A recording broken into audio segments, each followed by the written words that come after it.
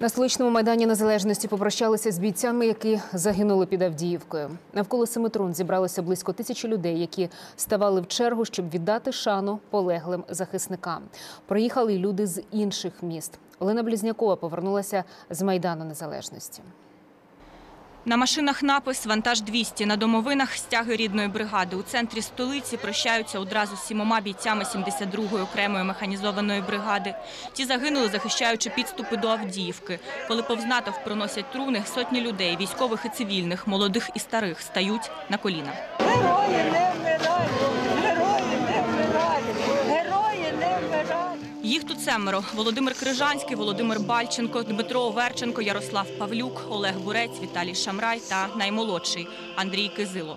Згадуючи про нього, майор Олексій Миронов не приховує сліз.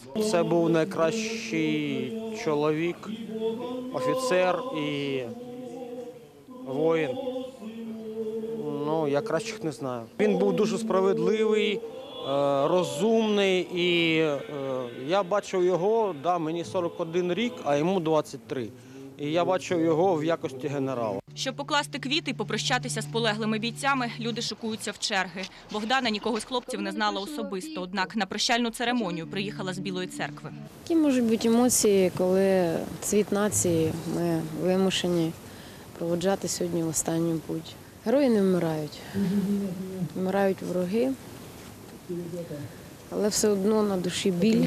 І мені, як жінці і матері, особливо боляче, тому що це молоді хлопці, Про героїв треба розказувати всьому світові, так каже волонтерка Олена. Вона одна з організаторів сьогоднішнього прощання.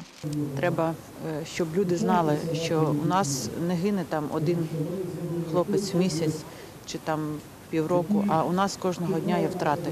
І ці втрати досить великі. Сьогодні сім сімей, сімей втратили чоловіка, сина, е, там, брата. Після панахиди знову можливість попрощатися, а потім під гру військового оркестру, під вигуки натовпу герої не вмирають, хлопців везуть додому.